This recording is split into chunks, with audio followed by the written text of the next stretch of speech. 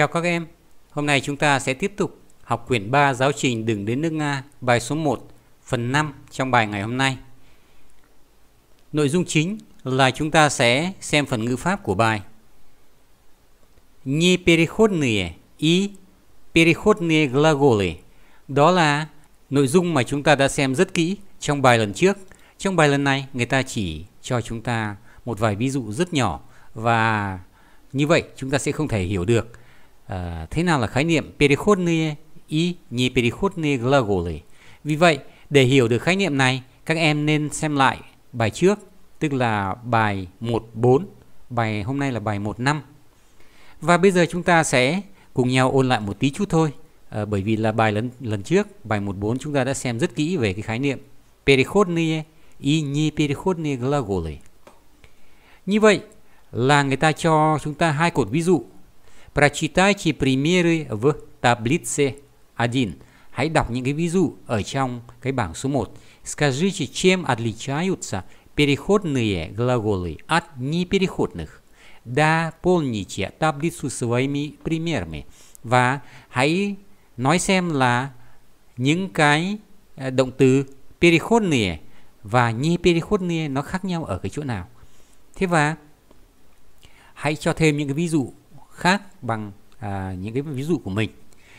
Ở đây người ta xếp động từ непереходные lên phía trước. Thế và chúng ta xem ví dụ Виктор отдыхает, Анна работала, друзья будут заниматься. Thì chúng ta nhìn thấy cả ba cái ví dụ này có một cái đặc thù là gì nào? Là ở đây nó không có bổ ngữ, chỉ là chủ ngữ và vị ngữ, đúng không ạ? đây là chủ ngữ đây là vị ngữ. À, đây là chủ ngữ và đây là vị ngữ. Thế còn ví dụ bên này pirikhot này thì ví dụ ở đây chúng ta không nhìn thấy có cái nhận xét gì cả. Thế còn ở đây thì nó có nhận xét rõ ràng là sto dialect cộng với object tức là à, câu hỏi là làm cái gì và cộng với lại một cái bổ ngữ. Object là một cái bổ ngữ. Victor Chitayt À, đây là chủ ngữ Victor. Читает à, là động từ à, và làm vị ngữ. Sau đó thì có một cái bổ ngữ cho cái động từ này. À, Victor читает что? Книгу. Đó. Anna написала. Anna đã viết xong cái gì? Письмо. Viết xong bức thư. Và друзья будут изучать. Các bạn sẽ nghiên cứu à, môn nào? Химию khi miểu môn hóa học. Thì vậy thì ở đây nó khác nhau là gì nào? Переходные глаголы là những động từ mà có bổ ngữ trực tiếp cho nó. À, trên thực tế thì cũng còn có một vài cái điểm khác biệt nữa. Ở đây người ta nói ngắn gọn như vậy để cho các bạn hiểu thôi. Và người ta không nói rõ ra thế nào là nhé переходные và thế nào là переходные. Về à, hai cái hai cái dạng động từ này thì chúng ta đã nghiên cứu rất kỹ ở trong bài 14 lần trước. Cho nên nếu như em nào hôm nay bắt đầu xem từ bài này thì khuyên các em nên xem lại bài trước, bài 14. Thế nhé. Vì vậy, bây giờ để khỏi mất thời gian, chúng ta sẽ chuyển sang phần пассивные конструкции с глаголами несовершенного вида. À, thầy giáo xin nhắc lại với các em, chúng ta nghiên cứu cái khái niệm непереходные và переходные глаголы để làm gì? Để chúng ta có một cái cơ sở để chuyển sang nghiên cứu phần пассивные конструкции và активные конструкции là cái cấu trúc bị động và cấu trúc chủ động cùng với động từ. Ở đây là gì? Cùng với động từ thể chưa hoàn thành. Vậy thì chúng ta sẽ cùng nhau xem nhé. Прочитайте примеры в таблице 2. Hãy đọc ví dụ ở trong cái bảng số 2. Посмотрите на схему và hãy xem cái sơ đồ. Скажите, чем отличаются активные конструкции от пассивных?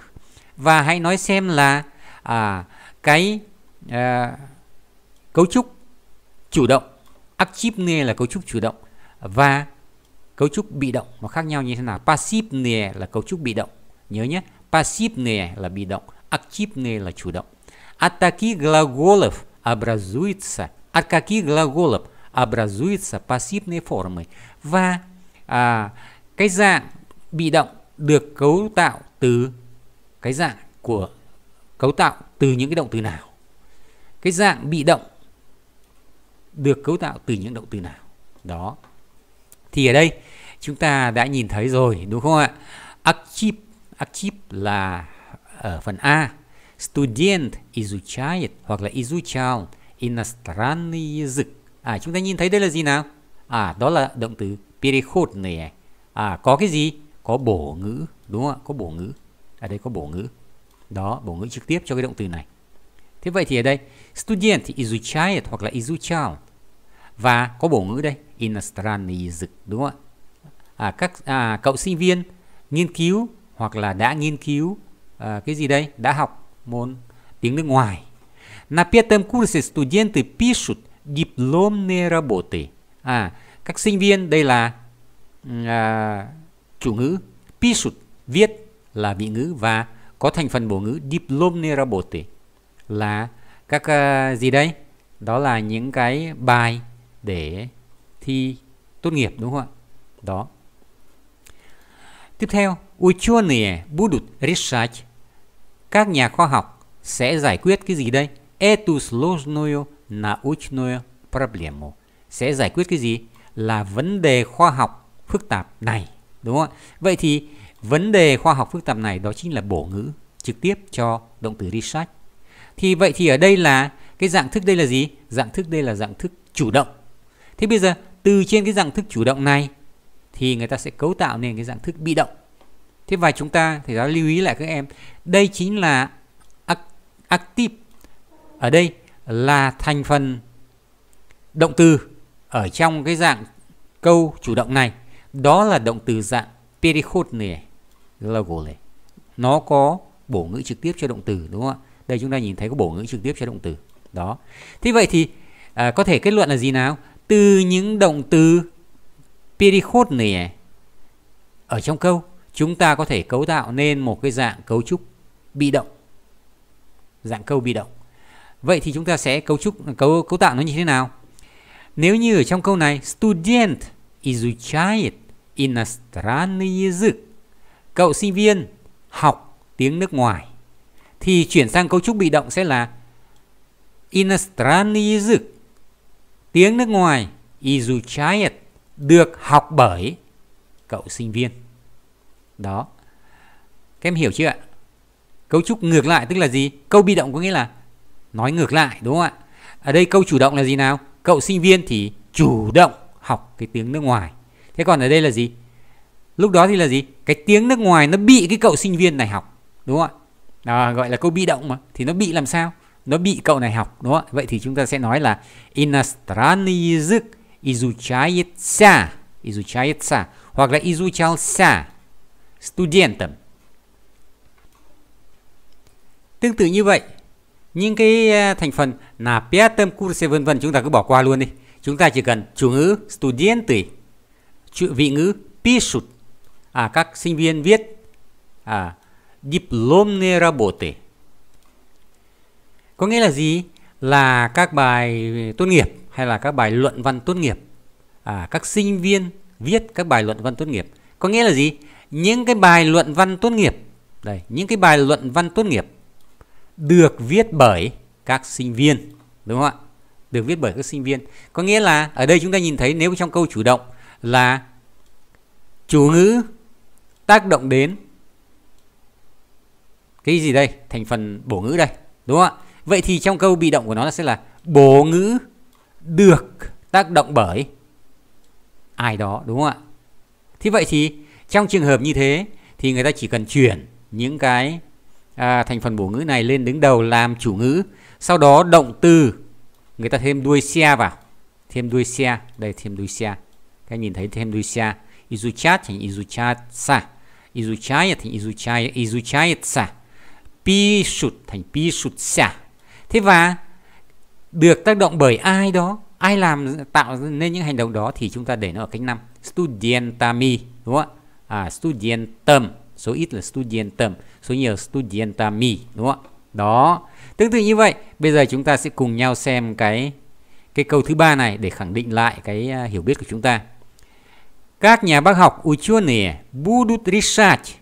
Будут решать là sao? ở đây có nghĩa là ở thời tương thì tương lai đúng không ạ à, thì tương lai thì hiện tại thì quá khứ đối với chúng ta hiện nay nó chưa quan trọng quan trọng đây là chúng ta cái chia cái dạng à, cái vị ngữ này ra chủ ngữ là ученые vị ngữ là будут решать thế và bổ ngữ là gì проблему đúng không ạ проблему thì ở đây người ta mở rộng cho nó thôi làm chúng ta loạn đầu lên thôi эту сложную научную проблему thực chất ra nó vẫn là cái проблема đó là cái cái danh từ quan trọng nhất còn những cái này chỉ là thành phần mở rộng cho cái danh từ này thôi đúng không ạ vậy thì chúng ta có thể nói ngắn ngắn gọi là gì ученые будут решать проблему đúng không ạ vậy thì cái problema này nó chính là cái bổ ngữ cho động từ research à trong trường hợp như thế thì chúng ta sẽ khi chuyển sang bên này chúng ta sẽ để cái problema này lên đầu thành chủ ngữ проблема будет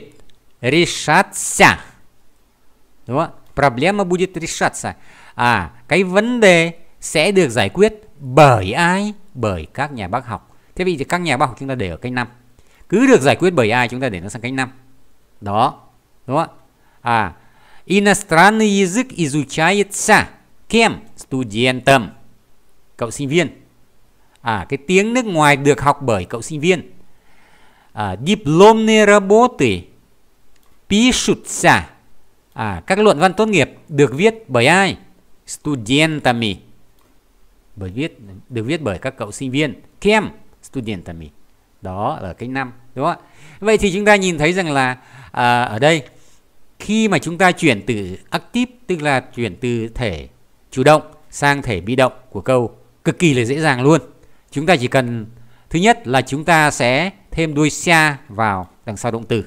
Cái thứ hai là chúng ta để cái cái chủ thể tương đương ở cách một bên này. Chủ thể gây ra cái hành động này, chúng ta đưa sang bên này thì chúng ta chuyển nó sang cách 5 thế là xong. Chỉ có hai cái yêu cầu thôi. Yêu cầu thứ nhất là gì? Là cho cho cái động từ này có thêm đuôi xa yêu cầu thứ hai là ở bên này, nếu mà chủ thể bên này, tức là chủ ngữ bên này, chúng ta chuyển sang bên này là thành phần mở rộng thì nó ở cách 5 có vậy thôi, đúng không ạ? Đó. Vậy thì bây giờ chúng ta sẽ cùng nhau xem cái sơ đồ. Người ta viết cho chúng ta đây. Trông nó hơi rối mắt một tí, đúng không ạ? Rối mắt, đây là Kto là cách 1 này. Cách 1 Izuchai, nghiên cứu. Sto, nghiên cứu cái gì ở cách 4 đúng không ạ? Đó. Vậy thì cái Sto này chuyển sang bên này, nó phải chuyển sang, chuyển về cách 1 để nó làm chủ ngữ mà. Sto và Izuchai xa, thêm đuôi xa, các em nhìn thấy, xem đuôi xa. Và đằng sau nó là Kem ở cách 5 kem ở cách 5 thì người ta vẽ hoa hòe, hoa sói này chẳng qua như thầy giáo nói với các em một câu là gì? Là thêm đuôi xe cho động từ, sau đó để cái chủ thể đáng ra ở bên này. Chủ ngữ ở cách một chuyển sang bên này là, nó là thành phần mở rộng thì nó ở cách năm. Vậy là xong, đúng không ạ? Thế còn cái mà ở bên này, nó là cái thành phần bổ ngữ. Thì lẽ dĩ nhiên, khi mà chúng ta chuyển sang cái thể bị động này thì nó sẽ ở cách một và nó đứng nó đứng ở đầu câu. Đúng không ạ? Có vậy thôi, đúng không ạ? À có vẻ nếu như các em mà không chú ý lắng nghe thì các em sẽ bị loạn loạn đầu. À, nếu ai chưa hiểu cho đến thời điểm này đề nghị quay lại video và xem lại nhé. Đó. À tất cả những cái linh ta linh tinh này chúng ta sẽ không xem nữa đúng không ạ? Chúng ta chỉ cần xem này. Chủ ngữ student là cậu sinh viên. Nghiên cứu cái gì? Izuchayet còn izuchan bujet izuchat vân vân này khác nó cũng chỉ là vị ngữ nhưng mà nó là ở thời quá khứ ở thời tương lai thôi. chúng ta chỉ cần nghiên cứu một thời hiện tại thôi cho nó dễ hiểu student изучает à cậu sinh viên học học cái gì русский язык đúng không ạ русский язык đó thế tại sao người ta cho thêm đây là mathematikun để làm cái gì để chúng ta hiểu ở đây nó ở cách 4 thế vậy thì student là cách mấy ở cách 1 động từ này là vị ngữ chia ra theo chủ ngữ ở cách 1 và cái bổ ngữ này русский язык là ở cách mấy đây cách 4 đúng không ạ bởi vì nó làm bổ ngữ cho cho động từ thế để thể hiện rõ ràng là cách 4 cách 4 chúng ta lấy một danh từ ở cách à, danh từ giống cái thì ở cách 4 nó sẽ thành đuôi u student ở cách 1 là chủ ngữ изучает học hay là nghiên cứu cái gì mathematiku đúng không? ở cách 4 thế vậy thì bây giờ đây là câu chủ động thế bây giờ chúng ta chuyển nó sang thành câu bị động thì cái русский язык này hoặc là mathematiku này nó đang ở cách 4 chúng ta phải dùng nó để làm chủ thể thì nó phải chuyển sang là cách 1 đúng không ạ chủ thể nó ở cách 1 đây chuyển sang русский язык và mathematiku ở đây nó thành là mathematica đúng không ạ thế và cái động từ ở đây изучает thì chúng ta chỉ cần thêm đuôi ся thành изучается русский язык изучается математика изучается. Кем? Кем ở cách 5. Đúng không? Nếu ở đây à, khi mà ở chủ ờ, chủ động thì là cách 4 đúng không? Làm làm bổ ngữ thì đây là thành phần mở rộng chúng ta gọi đây thành phần mở rộng không gọi là bổ ngữ gọi thành phần mở rộng. Nó ở cách 5 đúng không à, studentum đúng không kiem studentum thế vậy thì giải à, mô mô phỏng sang tiếng việt là gì nào? Môn toán được học bởi cậu sinh viên. Môn tiếng nga được học bởi cậu sinh viên đúng không ạ? Thế vậy thì được học tại sao được học? Được học bởi vì nó là chữ bị động thì nó lại được đúng không đó thế vậy thì chúng ta à, cái nội dung chính của cái bài ngày hôm nay chúng ta sẽ là như vậy thế bây giờ để củng cố lại cái kiến thức mà chúng ta vừa học đó bây giờ chúng ta sẽ cùng nhau nghiên cứu cái bài tập số 3 này все учебные вопросы tất cả mọi vấn đề về học tập решаются được giải quyết bởi ai kiem decanum decanum là ông trưởng khoa tất cả mọi vấn đề về học tập được giải quyết bởi ông trưởng khoa đúng không ạ ông trưởng khoa đây là số ít hay số nhiều số ít Đúng không ạ? Thế còn động từ đây chia ở số ít hay số nhiều? Chia ở số nhiều. Tại sao lại như vậy? Có hiểu không? Bởi vì sao? Động từ này là vị ngữ nó chia theo chủ thể, chia theo chủ ngữ. Chủ ngữ đây là vaprosi là số nhiều thì nó phải chia ra là ngôi ani. Vaprosi là nhiều. Ani đúng không ạ? Và chia ra ani risayutsa À những câu hỏi này, à những vấn đề này được giải quyết bởi bởi ai? bởi ai thì là một người nhiều người không quan trọng. Một người thì là decanum đúng không? Nếu còn nhiều người thì rabotnikami nếu mà các các à, các nhân viên chẳng hạn thì nó là rabotnikami đúng không ạ? Rabotnik là một người rabotniki là số nhiều và sang số 5 rabotnik à, sang cách năm là rabotnikami đúng không đó. Thế vậy thì cái quan trọng nhất đối với các em là đây là gì nào? phải nắm được đây là gì là chủ ngữ và vị ngữ này chia theo chủ ngữ Thế còn cái đằng sau này nó là cách 5. Nó giải thích trả lời cho câu hỏi là Kiem решаются. Ai làm cái việc đó? Được bởi ai? À cái việc đó được giải quyết bởi ai? Bởi ông decan, đúng không ạ? Tương tự như vậy, контрольная работа будет выполняться. cái budget Vipanyasa này nó chỉ là cái vị ngữ thông thường thôi. Và cái budget này nó thể hiện cho chúng ta đó là cái ngôi số ít, đúng không ngôi cách ba à ngôi thứ ba số ít, Anna hoặc là on đúng không ở đây Rabota thì là Anna. Cantrone Rabota, budget Vipanyasa là cái việc kiểm tra, cái bài kiểm tra sẽ được thực hiện bởi bởi ai? Studentami, bởi các sinh viên. Thế còn thực hiện ở đâu không quan trọng. Là computer hay là nào vào gì tôi thì không quan trọng đúng không? Đối với chúng ta là không quan trọng. Quan trọng đây này, cách năm này này. Studentami, đúng không? Bởi các sinh viên. À, bài kiểm tra sẽ được thực hiện bởi các sinh viên. Đó. Thế vậy thì cứ thực hiện bởi ai thì nó là cách năm. Dễ chưa ạ? Quá dễ luôn đúng không ạ? Thế còn à, chủ ngữ, chủ ngữ ở đây nó là cái danh từ nào đó đúng không ạ? À, danh từ nào đó có thành phần mở rộng cho nó. Karechina là danh từ là giống cái. Và cái bức tranh này Sazdavalas là được thực hiện được thực hiện à, hay được sáng tạo bởi ai? Hudornikam bởi người họa sĩ Piat liệt. Piat liệt là cái gì đây? Trong thời hạn 5 năm hay là trong thời gian 5 năm. Ông họa sĩ này ông ấy chậm ông ấy lười cho nên ông viết 5 năm mới xong bức tranh này đúng không ạ? Đó. Eta Karachina Sazdavalas Hudornikam 5 năm hay 10 năm hay không quan trọng, đối với chúng ta nó không quan trọng. Quan trọng là khu đồ nhiệt Hudosnikom đúng không ạ? Là khách năm. Đó. Vậy thì chúng ta nhìn thấy đây là gì nào? Là chủ ngữ là cách một. Vị ngữ là có đuôi xe. Làm bất cứ một động từ nào đó có đuôi xe. Và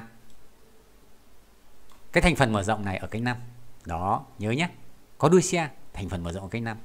thế vậy thì chúng ta xem một cái ví dụ tiếp theo encyclopedia số ít số nhiều số nhiều đúng không ạ encyclopedia là một quyển từ điển bách khoa toàn thư nhiều cuốn từ điển bách khoa toàn thư là encyclopedia islavari và các cuốn từ điển à các cuốn từ điển bách khoa toàn thư và các cuốn từ điển Хорошо покупаются đã được mua rất tốt, đã được mua rất tốt. Bởi ai? Studentami и школьниками. Bởi ai? Bởi các sinh viên và các học sinh. Đúng không ạ? Đây là cách năm số nhiều, cách năm số nhiều. Đó. Tiếp theo, Gazeta Московский комсомолец с интересом читается, có đuôi xe, молодежью, ai кем, молодежью. Молодежь là à, tuổi trẻ, đúng không ạ? À, hay là chúng ta còn gọi là các thanh niên, thanh niên, đúng không ạ? Hay là giới trẻ, chúng ta dịch là giới trẻ là đúng nhất, đúng không? Giới trẻ. À, молодежь là một danh từ giống cái, khi chuyển sang cách nam thì có đuôi you, đúng không ạ? Đó. Tiếp theo, в центре международного образования ở trong cái trung tâm à, Международный là gì? Là quốc tế. Образование là gì? Là giáo dục. Trung tâm giáo dục quốc tế của MGU. Ở trong trung tâm giáo dục quốc tế của MGU. Ở đâu nó không quan trọng. Đúng không ạ? Quan trọng là chúng ta để ý là cái chủ ngữ ở đâu? Русский язык и другие предметы. Đây mới là chủ ngữ này. Nó viết lộn ngược. Người ta viết lộn ngược xuống dưới đúng không ạ? Русский язык и другие предметы. À, môn tiếng Nga và các môn các bộ môn khác được học bởi изучаются được học bởi có đuôi xe kiêm studentami đúng không ạ à đây nó viết lộn ngược lên cho nên làm cho các em đau đầu đúng không đáng ra nó phải viết là gì nào русский язык и предметы изучаются студентами đúng không ạ đó lúc đó thì các em mới dễ hiểu à, theo cái cái uh, tư duy ngôn ngữ của người Việt Nam mà từ ngữ nó phải lần lượt từ 1 đến 2 đến 10 nhưng người Nga do nó có cách cho nên nó viết lộn ngược lộn xuôi mà nó vẫn bảo đảm được cái ý nghĩa của nó vậy thì làm sao chúng ta phải theo kịp để chúng ta hiểu được à chúng ta hiểu nếu nó là studentami thì nó là phải là thành phần bổ ngữ tương đương như thế này đây đấy studentami đây đúng không ạ thế nhưng mà nó viết lộn ngược lên trên này đúng không ạ đó thế còn cái chủ ngữ đáng ra nó phải viết ở đây này à учебные вопросы là chủ ngữ xong rồi mới đến vị ngữ thì đây chủ ngữ của nó đây nó lại viết xuống cuối xong rồi đến vị ngữ là là đứng giữa lửng chừng này sau đó thì thành phần bổ ngữ đây đáng ra phải đứng cuối lại viết lên lên đầu các em hiểu chưa ạ vậy thì bằng cái cách là có cách có cách nó hiển thị bằng cách đây là cách năm cho nên các em mới hiểu được cái nội dung của cái chữ này. Đấy chính vì vậy mà trong tiếng nga nó có cách là vì vậy. Thế còn tất cả các ngôn ngữ khác mà nó không có cách ý, thì nó không được viết lộn ngược lộn xuôi. Ví dụ tiếng việt chẳng hạn bố yêu mẹ là bố yêu mẹ chứ không thể. Lúc đó chúng ta không thể, thể hiểu là mẹ yêu bố được đúng không ạ? Đó anh yêu em là anh yêu em chứ không thể hiểu là em yêu anh được. Nhưng mà tiếng nga nó viết lộn ngược lộn xuôi chỉ bé ya lưu blue đúng không ạ? Chỉ bé ya lưu blue à hoặc là chỉ bé lưu blue ya đó đúng không ạ nó viết lộn ngược тебя lộn lộn lên đầu em yêu anh thế nhưng mà nếu hiểu theo tiếng, tiếng việt mình là hiểu lộn ngược thế cho nên là chính vì vậy trong tiếng tiếng nga là nó có cách đó bây giờ chúng ta xem câu 7 thì nói hơi nhiều đúng không ạ nói nhiều để cho các em ngấm đó bởi vì là có nhiều em thì hiểu được ngay có nhiều em không hiểu được ngay на встрече с известным актером à cái câu này nó lại là gây nhiễu cho các em đây на встрече с известным актером đây là cách năm đây nhưng mà cách năm này nó chả liên quan gì đến đến đến đến đến cái câu à, bị động của chúng ta cả mà cái câu bị động của chúng ta là gì nào đây nó chỉ địa điểm thôi trong cái cuộc gặp mặt với lại một người nghệ sĩ nổi tiếng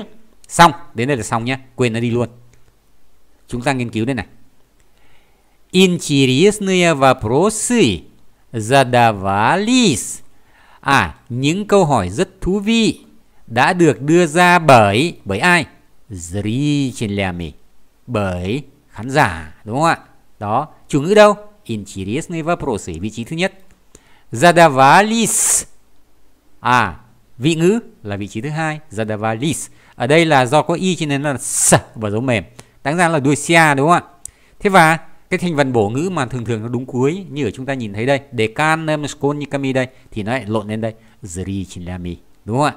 Đó. Những câu hỏi thú vị được đưa ra bởi các khán giả trong cuộc gặp mặt với lại người nghệ sĩ nổi tiếng. Các em hiểu chưa ạ? Đó.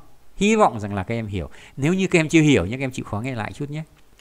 Chúng ta xem câu 8 на уроке сначала преподавателем à на уроке сначала chúng ta bỏ qua luôn chúng ta xem nào преподавателем объясняется новая э, грамматика новая грамматика Vậy thì chủ ngữ đâu? Novaya grammatica. Vấn đề ngữ pháp mới. Vị ngữ đâu? Объясняется được giải thích bởi Kем преподавателем. Ông thầy giáo, đúng không ạ? Thế và trong mệnh đề thứ hai của chúng ta, chủ ngữ упражнения, các bài tập, vị ngữ các à, выполняется được thực hiện bởi Kем студентами bởi các sinh viên, đúng không ạ? Vậy thì đó là cái ví dụ mà chúng ta nghiên cứu về câu bị động. Hy vọng cho đến thời điểm này thì các em đã vỡ vạc ra nhiều rồi đúng không ạ? À, đến những bài tập sau thì chúng ta sẽ à, xem sau. Thế còn ngày hôm nay chúng ta sẽ tạm dừng tại đây nhé. Cảm ơn các em. Bài học của chúng ta xin tạm dừng tại đây. Các em đừng quên bấm đăng ký kênh và bật chuông để nhận bài thường xuyên. Bấm like, viết bình luận bên dưới và nhớ chia sẻ bài để cho kênh được phát triển hơn nữa. Chúc các em học tốt, có cuộc sống bình yên, luôn thành công và toại nguyện mọi ước mơ của mình.